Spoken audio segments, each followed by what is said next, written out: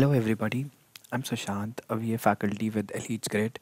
This video is one of the many we'll upload to help you guys solve some of the RCs that we give to you. The, this one on the screen that, uh, that I'll show to you is the one that we had given in our RC test 1. So I'll just give you, okay, I'll give you a 3 second pause so that you guys can stop the video and uh, stop the video look at the passage and then we'll resume uh, with the questions that are there in the passage.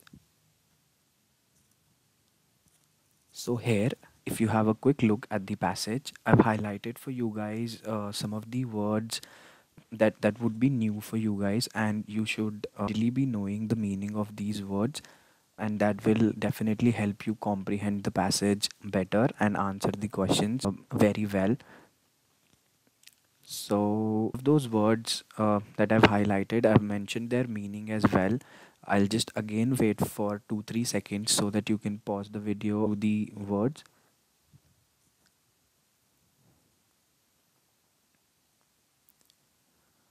Okay, coming back to question number one. So the question, uh, the first question said, according to the passage, the ideology of female benevolence was consistent with women taking part in each of the following spheres of activity except the first option says organized, the second says domestic, the third one was electoral, the fourth was fundraising. So if you have a quick look at the passage and the last line, uh, the last four five lines of the second paragraph that was there in the passage, you'll realize that the that the straight answer to this question was electoral and I'll just uh, for for you guys I've highlighted the lines uh, which which directly refer to this question. I'll read them. But clinging to this ideology also prevented these women from even attempting to gain true political power because it implied a moral purity that precluded participation in the messy world of partisan politics. So when when it says that they were not able to attempt true political power uh, it means that they were not able to uh, be a part of the electoral politics. Why i've uh, just just to give you a brief background as to why i'm writing uh, all of these answers as well because uh, you guys might face a few issues with the voice or there could be one or two friends of ours uh, who might be physically challenged and are not able to hear my voice naturally so just to make sure that everybody understands the passage well uh, I've just uh, written down whatever uh, whatever I'm saying as well.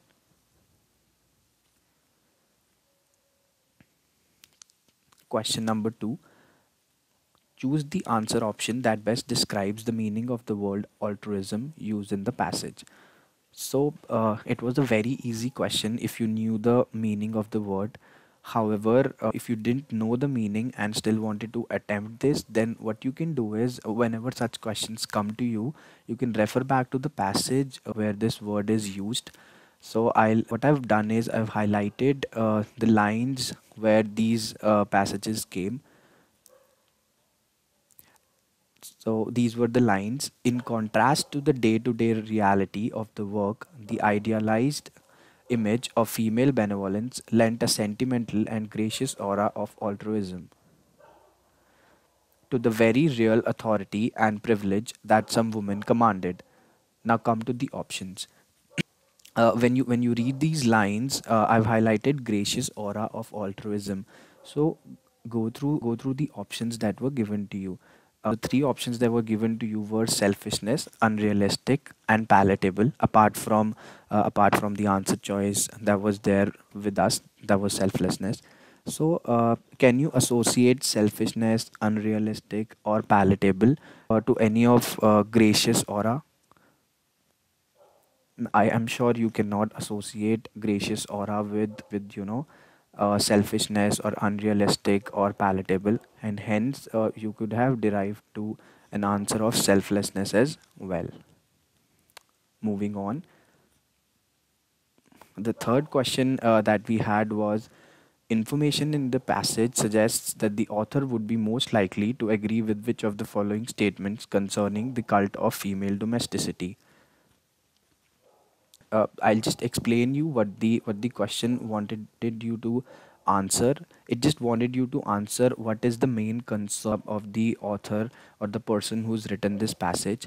So when you when you refer the first option that you have, it says the cult of female domesticity developed independently of the concept of benevolence of female benevolence so uh, I'll just contradict this for you through uh, through one of the lines uh, that is written in the passage only.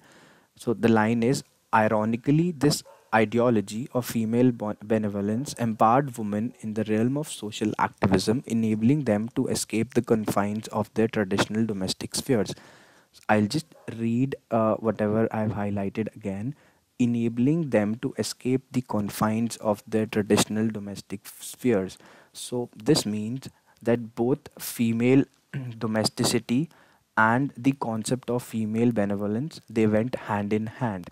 Uh, female benevolence rose and that is when uh, they wanted to come out of that traditional domestic sphere. Okay so th- this is how you can eliminate option 1 then coming back to option 2 which says the original motivation behind the promotion of the cult of female domesticity was to exclude women from partisan politics. Uh, you can exclude this uh, even from the first question. And when you read the last four or five lines of paragraph 2 in passage uh, in the passage uh, you will see that it was their own it was their own will to not include themselves in partisan politics you know they, they wanted to not be a part of the messy world of politics and that is why they uh, you know or not to be a part of the electoral politics.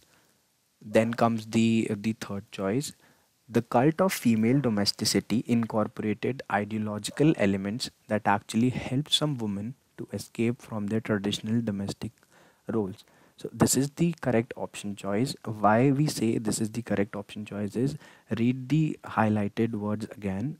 It says enabling them to escape the confines of their traditional domestic spheres. So the female benevolence that arose empowered women empowered women in the society to enable them to escape their traditional domestic spheres. And hence your option c was directly correct I know you could have uh, solved this very easily had you gone straight to the uh, to the lines where it's in the passage where this is mentioned.